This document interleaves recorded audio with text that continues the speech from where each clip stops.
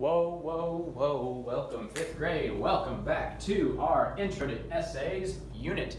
I no longer need my stick, so I'm gonna put it up here. We are going into the first part of an essay, the introduction. Oh my goodness, introduction, written normally here, written fancily there. What is an introduction? Pause the video now and answer me this. Where does the introduction go in an essay? Does it go in the beginning, the middle, or the end?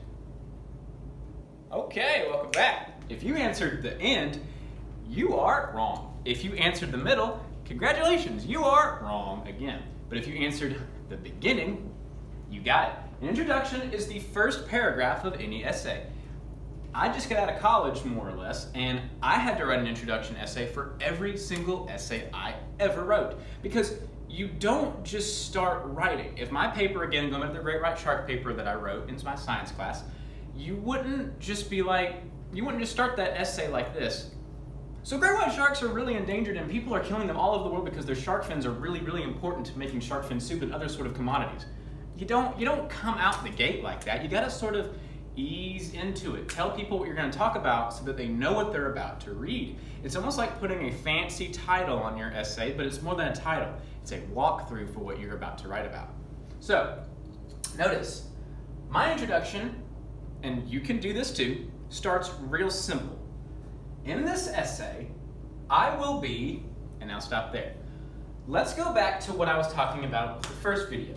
Remember, essays explain, they can persuade, and sometimes they can create.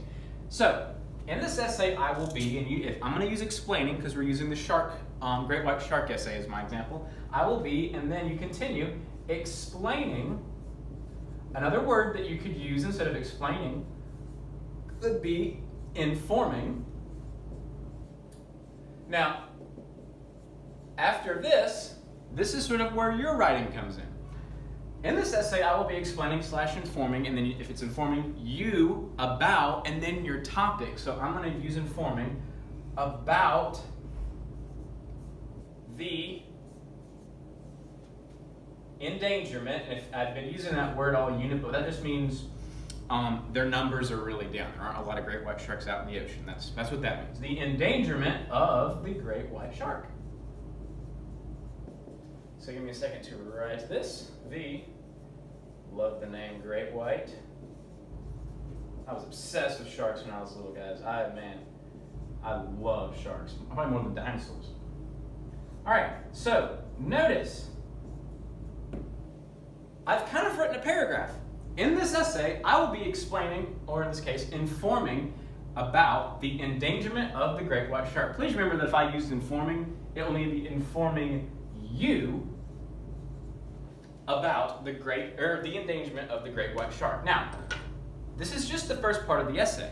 I've only explained to you what I'm going to be doing, what I'm going to be writing about, what you as a reader are about to read.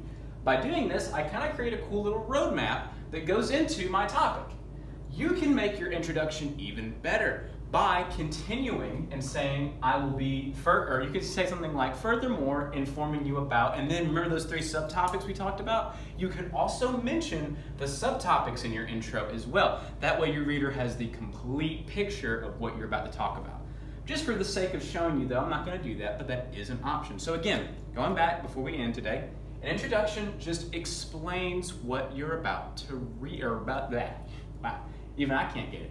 Your, your introduction and your essay is going to explain to you and to me, anyone that reads your essay, it's going to explain to them what the essay is about. It's a roadmap to what you have written your essay on. So, again, intros at the beginning. What do they do? Explain what your essay is going to be about. You have a Google Forms assignment. You're going to be given a topic. It's a random topic and you have to use it. And then you are going to have to practice writing an introduction to that topic. Hear me now. You are not writing an essay on the topic. You are only practicing writing your intro paragraphs. I'm going to say that again and look really intensely into the camera. You are not writing an essay for me. You are only writing an introduction paragraph to help practice writing intros. So, this has been Mr. Dooley. This concludes the introduction day, day three of our Intro into Essays unit. I will see you guys in the next video. Hope we're having a great day. Thanks a lot.